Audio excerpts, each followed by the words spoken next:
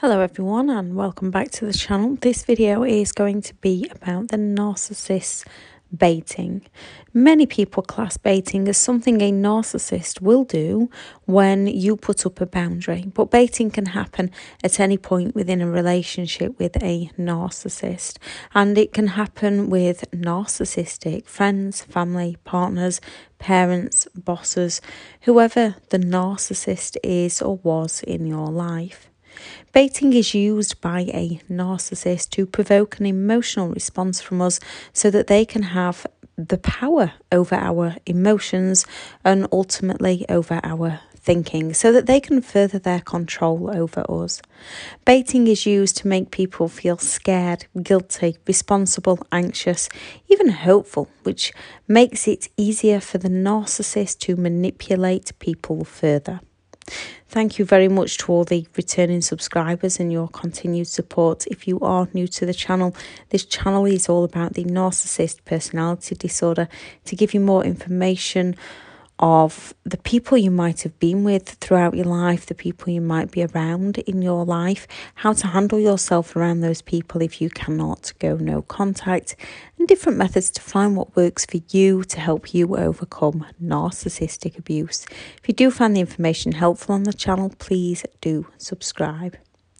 When it comes to a narcissist, if they feel threatened in some way, they feel a need to pull someone else down to then feel better within themselves, as the narcissist will blame the other person for threatening them in the first place, real or perceived.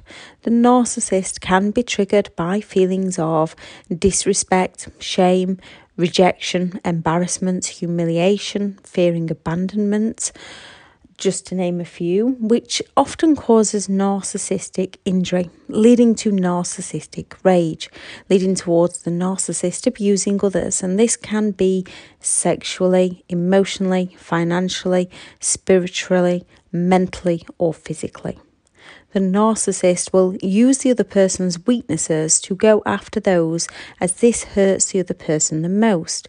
When we get defensive and justify ourselves, explain ourselves, fight back, the narcissist will continue to get us going so that the narcissist can blame us, play the victim, leading us to feeling bad the narcissist gaining attention as we work harder to please them, fawning to their behaviour, blaming ourselves, and walking on eggshells around the narcissist, which confirms in their mind it was our fault. It's never your fault. Abuse is abuse, and there is no excuse.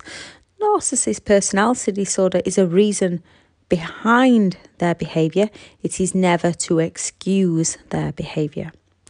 A narcissist will love bomb their fast involvement, flattery, excessive gifts to bait people into the relationship, especially if they feel their needs are no longer being met in the relationship they are currently in. A narcissist will intentionally taunt someone to anger them by saying or doing things to annoy, hurt, upset or frustrate them, to taunt them deliberately, to hook or trap or entice someone and getting someone to do what the narcissist wants them to do. A narcissist will set the environment to cause you stress, anxiety, irritability, frustration, or intrigue. A narcissist will do all they can to get you feeling out of sorts, to get you to justify, defend, or explain yourself to them, and they will use your explanations against you to get you into a mood so they can blame everything on you, to escape accountability for the things in which the narcissist actually do to you. The narcissist will cause that intrigue. They will keep secrets from you. They will hide where the money goes. They will cause that intrigue. They will give bits of information but not the full story. They will tell you about someone they've met that's the same sex of you just to set your feelings into that where you're not quite sure what's happening, but they'll not give you the full story. They will give you bits of information or they will lie by omission to cause us to question ourselves, to question them to wonder what on earth is happening. They will claim they don't want to argue when they mean they don't want to discuss the things that you could do with discussing with them. Or they will say, Don't you trust me? if you ask them about something you know they've done and they don't want you to know any further information. They want you to feel guilty for asking them in the first place because they believe they're entitled to do as they please and you shouldn't ask them anything. So they can get away with their behaviour while we are left questioning our reactions to their actions. They will say things such as, Why do you need to know? I never said that. Or, I never told you anything because I knew you'd act like this. I never lied to you. When they lie through omission, they will turn it around and just say that they never lied to you. If you continue the conversation by saying, but you didn't tell me, they will keep going and going to get you to react because you've questioned their sense of entitlement. They want to keep us confused and they don't want to face any consequences for their actions. They will throw around false accusations in order to get us to react, in order to cause reactive abuse. They will use the things that matter the most to us so we defend ourselves to deny or justify to them most passionately. They will provoke fear. They will intimidate, isolate, slander, be aggressive, or those subtle, I wouldn't do that if I were you. And those obvious threats of, if you do this, I'll to cause that fear and that panic within you. A narcissist will future fake those false promises to give you the false hope of the future to control you in the present by using your future against you. They will claim that they want the same things as you and offer you those same things, whatever it is that's important to you. When the future arrives, they'll blame you for themselves not delivering, then get you to work harder to please them by offering more future fakes. However, they sell these future fakes as if they want them too, so we feel like we're letting them down if we don't work harder to please them. They will breadcrumb you. They will deliver on some promises just enough to keep us living in hope that if we change, they will be the person they sold themselves to be. Narcissistic people will guilt trip. They will use our compassion, our empathy against us to break down our boundaries. They will pity play and blame shift to get us to work harder to please them. Narcissists will flirt with others in front of you or they'll talk highly of another in a way that brings you down to create those feelings of jealousy. When you go to have an adult conversation with them, as they lack the empathy to care, they're doing these very things to control your emotions and they will tell you that you're jealous, you're insecure, you're hung up on your past. Again, so that you question who you are, doubt your thoughts and feelings that are there to help and protect you, and not the very behaviour of the narcissist that's making you feel the way you do. They will humiliate, shame, or blame you in some way. Then, when you stand up for yourself, they will claim they were only joking or that you cannot take a joke, you're too sensitive, stop being so serious. They are testing boundaries by getting you to question your reactions and not their toxic actions. When you stand up to them, they can rage or fall silent to either confuse you, intimidate you into conforming to them to get you to chase them or so that they can further their control over you. With a narcissist, it's all about power and control. It's hard to spot at the time when we are living it. It's hard to get our heads around it. It's hard to break free from it. However, breaking free is possible, and it's one of the best things you'll ever do. Even if it doesn't feel like it when you first start breaking free and working on you. Learning the narcissist baiting helps us to recognize their manipulative behavior, see what game they are playing, and stand firm on our boundaries. We can retreat, rethink, and only respond if we need to do so. Which, when we are unaware of their behaviour, it's not so easy.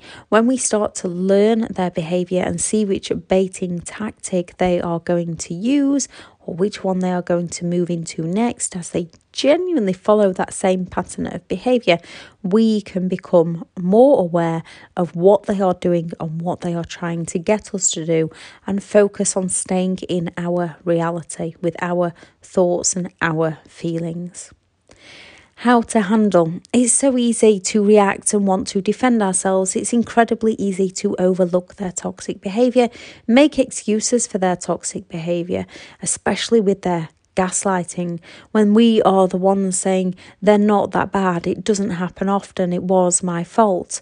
They are my parents. It's my best friend. I grew up with them. Who would employ me? What about the children? And these are the very things that a narcissist will plant into our subconscious to keep us trapped with them.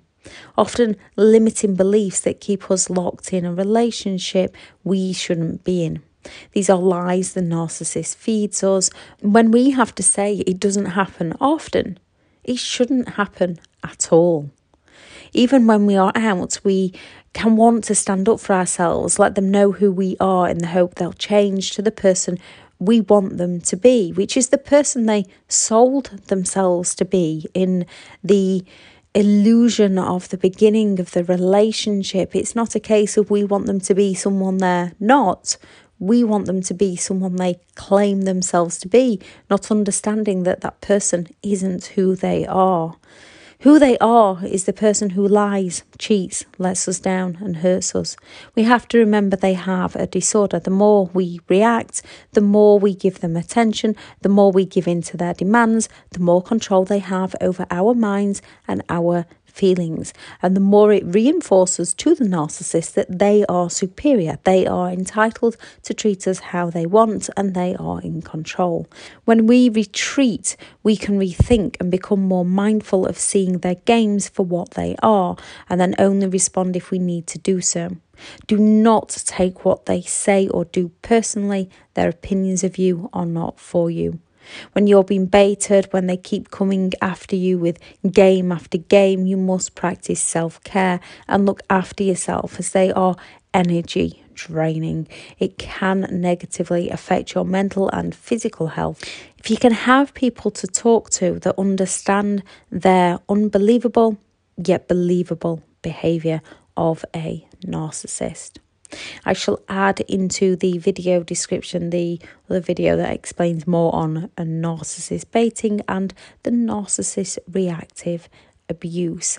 I shall also add the links to the online courses, which are just a step by step guide to overcoming narcissistic abuse to give you more understanding of what you might have been through. I am full for one to one coaching. I have partnered with BetterHelp and their sponsored link will also be in the description. Thank you very much for listening and go out there and create the day that you deserve because you do deserve to have an amazing day. Bye.